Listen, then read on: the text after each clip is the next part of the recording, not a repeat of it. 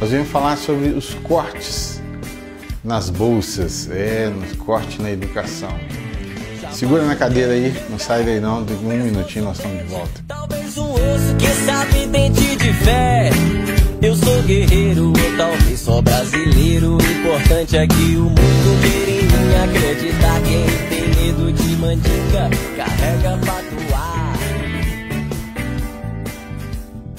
Nós necessitamos da pesquisa. Né? Se a gente for fazer uma linha do tempo, desde o processo de vacina, por exemplo, foi crescendo. Antes era um revólver, parecia que o menino ia ser. Pá. Hoje não, hoje gota, né? Temos aí o Zé Gotinha. É uma evolução.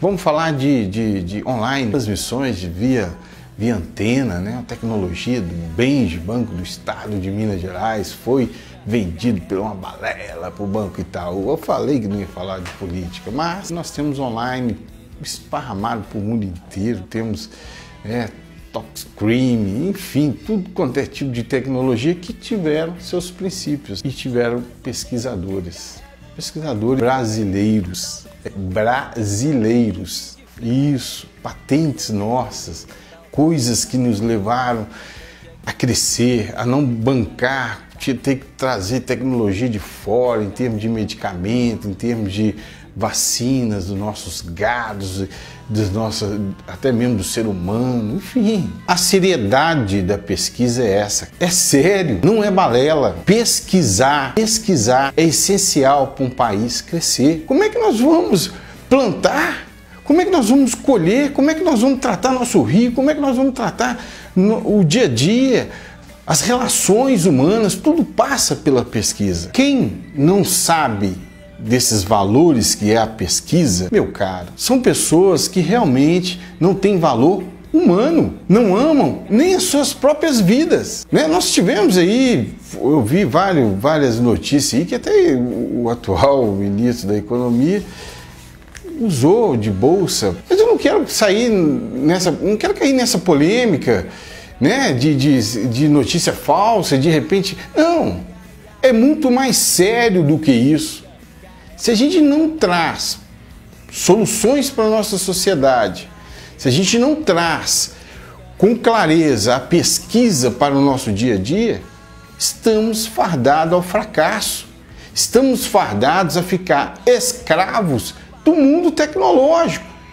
De toda a evolução que nós tivemos até agora, vai se retroceder.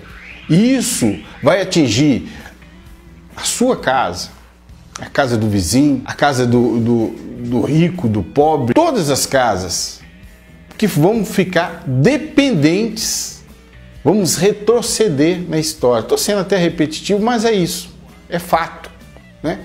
Temos coisas muito sérias né, que ocorreram no início do ano sobre é, é, a barragem lá de, de Brumadinho que, que, que veio. E, e pesquisadores já tinham feito estudos sobre aquilo e tal. O que, que essa empresa fez? Encomendou pesquisa de fora. Porque os pesquisadores mineiros brasileiros já tinham bombado aqui dali, já tinham alertado aqui dali. O valor da pesquisa é isso, gente. São barragens e barragens na nossa cabeça que podem ir para o chão por falta de ouvir os pesquisadores, de investir nesses pesquisadores. Estava lá sim, foi falado sim e a nota foi falsificada e foi comprada sim. Agora os órgãos competentes de fiscalização da Polícia Federal é obrigada a fazer quem foi o errado a vender esses papéis. Porque isso foi de compra e venda. Quem foi o errado? Quem vendeu o papel errado? Isso tem que ser falado, moça. Não apaga isso, manda isso para os responsáveis. Pelo amor de Deus, a gente precisa divulgar isso. Foi tudo, foi tudo. Numa reunião, diretamente com os dois desaparecidos, diretor-geral da Vale, Alano e Lecilda. E agora eles estão lá, previamente lá, porque a gente nem sabe. Isso numa reunião de café que eu levava garrafa de café todo dia, trabalhava na toda a equipe pra eles, pra aguentar esse tipo de coisa e meus amigos agora lá, enterrados debaixo da lama. Né? Em todos os campos, né? tivemos aí 500 quilômetros de rios destruídos. Estou né? sendo muito puxando por esse lado, que é muito sério, a seriedade disso né? influencia na vida humana, nas espécies, na flora, enfim, todo meio ambiente que nós vivemos. Né? Esses 500 quilômetros de rio, gente, ele provocou muita coisa, muitos prejuízos, né? muitas vidas, insetos, rios, nascentes, tudo foi embora. E o impacto disso? O quanta doença veio, passa no campo da pesquisa. Ok, aconteceu. E de agora em diante, o que nós podemos fazer para reformar aquilo? Está lá as universidades mineiras, pesquisadores lá, dia a dia, com projetos, trabalhando em cima. Vamos cortar. Vamos cortar a pesquisa. Vamos cortar a solução do nosso país. Vamos cortar soluções. Eu, como repórter, cinematográfico, cinegrafista, trabalhei em TV, a gente sempre vai em comunidades para quê? Para registrar é, é, mortes, para é, é, é, brigas em famílias, confusões, só coisas ruins.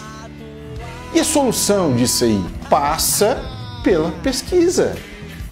Por que, que aquela comunidade está ruim? Por que a outra comunidade está ruim? Porque nós não sabemos muitas coisas que estão ocorrendo ali para que ela esteja daquele jeito. Falta de esgoto, falta de salário, falta de emprego, falta de visibilidade cultural, falta de tudo. Por isso que está havendo aquele desrespeito daquela comunidade e o reflexo são a violência. Né? O reflexo disso tudo é a violência. E nós vamos lá registrar a violência. E jamais levamos a solução. Só a notícia solta no ar. Né? Bom, soltei a notícia. Nós temos aí um programa que fica três horas falando: ah, morreu, ah lá, fecha naquele ali. Violência em cima de violência. O que, que isso agrega à nossa sociedade? Nada. O que agrega à sociedade são pesquisas, são as universidades que vão para a rua, vão para o campo, vão estudar o que está acontecendo, efeito, causa, solução. A seriedade da pesquisa está nisso. Não é só as pessoas que ficarão sem, sabe? Não é desmerecer também, são as pessoas que vão ficar sem essa verba. É muito mais sério do que isso são as pessoas, é o país que vai ficar sem a pesquisa, é a sociedade que vai ficar sem solução, fardadas ao fracasso, fardadas à violência. Chega de violência, né? Chega, né? Porque o gesto de amar é um gesto de coragem. Que sejamos corajosos, que amemos essa sociedade como um todo, com atitude. Chega de corte, principalmente em educação. Educação não se brinca. Educação é a norteadora, é a que vai alavancar o nosso país. O nióbio cara, é um elemento químico que está na natureza, né? ele é tirado do solo, purificado, e a presença dele no aço ele dá propriedades especiais. Ele não deixa o aço corroer, por exemplo, deixa mais resistente, mais leve. Então, a propriedade hoje explorada dele comercialmente é para isso, é, é para empregar em ligas metálicas. E ele é extraído em grande quantidade no Brasil devido às maiores, às maiores reservas aqui. Então, a gente tem hoje grandes aplicações do nióbio em diversas áreas, a mais é, importante delas, a principal é na área metalúrgica, e ele é basicamente todo exportado na forma básica para ser processado no exterior. Então ele vai com baixo valor agregado, então, ou seja, o país perde riqueza com isso e ele é retornado ao país com alto valor agregado. E a gente então perde novamente riqueza porque a gente tem que pagar mais caro por isso. Pense nisso. Não falo de religião, não falo de política, mas falo da atitude, da seriedade que é levar a educação a sério. É isso aí. Nós ficamos por aqui. Gostou? Não concordou? Não gostou das opiniões? Tá certo. Nós somos democráticos. Deixa a sua opinião aí e continue aí. Curte aí, dá um joinha, dá um joinha